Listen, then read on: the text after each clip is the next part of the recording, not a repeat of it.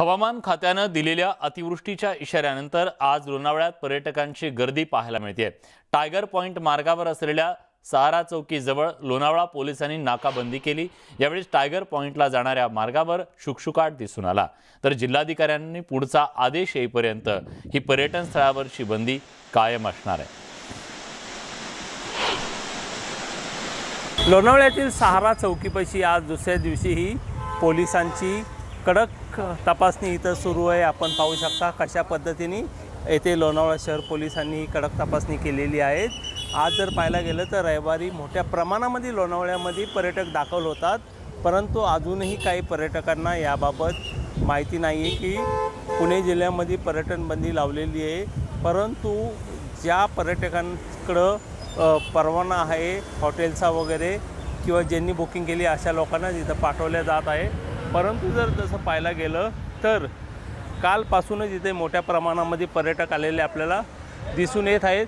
जर आपण या साईडला पाहिलं तर इथं हा पाहू शकता रस्ता तुम्ही. हा रस्ता पूर्णपणे शांत शांत दिसतोय. कारण लोणावळ्यामध्ये शनिवार रविवारी हा रस्ता तुडुंब भरलेला असतो.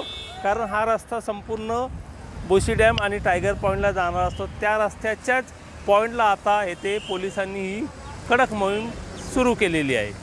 गणेश दुडमनी जटी लोकमत लोणावळा.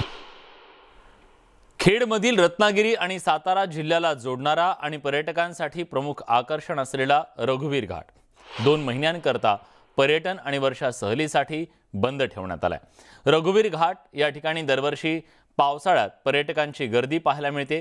उंचावरून कोसळणारे धबधबे आणि नयनरम्य परिसर पाहण्यासाठी लोक नेहमी इथं गर्दी करतात.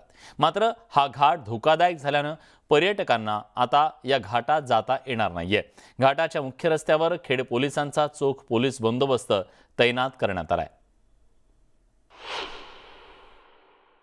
रघुवीर घाट हा सातारा व रत्नागिरी जिल्हा जिल्ह्याला जोडणारा महत्त्वाचा घाट असून त्या ठिकाणी पावसामध्ये मोठ्या प्रमाणात दरड कोसळत असते. सध्या काही ठिकाणी घाटातला रस्ता देखील खचलेला आहे.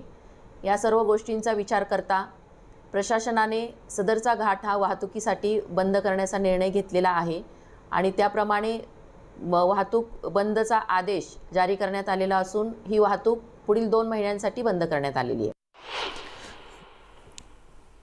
विदर्भातील महत्त्वाचं पर्यटन स्थळ असलेल्या चिखलदऱ्यात दमदार पाऊस बरसलाय.